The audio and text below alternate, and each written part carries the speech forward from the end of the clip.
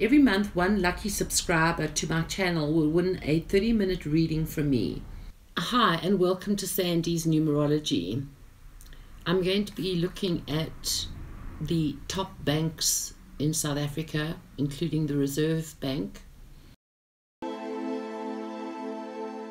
It's born on the 26th of November 1986, and it is in a personal year of severing ties.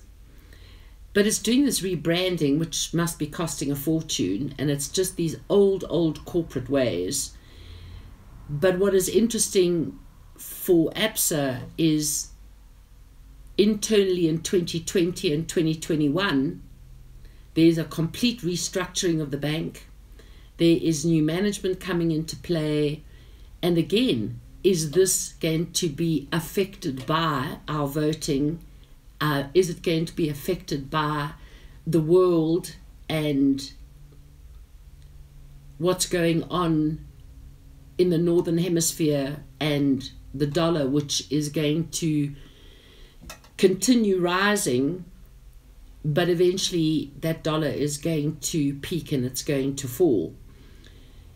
But at the age 31, which is what ABSA is, and 32, there's definitely going to be a lot of problems that are felt from the outside, which is us, the people, and also felt with who they are doing business with or who's wanting to do business with ABSA.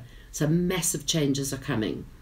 There's going to be some fraud, um, not that we actually get to hear about um, any of the fraud things, but in 2019, there's going to be some fraudulent things that are going to be happening and it'll be all the way through to 2022 so ABSA needs to be a little bit smarter and on track with how it deals with things. And ABSA sits in a massive fraud, fraud triangle at, at the age of 36 and that's 2023 and that's big. That's that is sitting is it internally? Is it coming from outside? Or is this all to deal with how things are going to be changing from a banking perspective and how the markets are affecting ABSA Bank?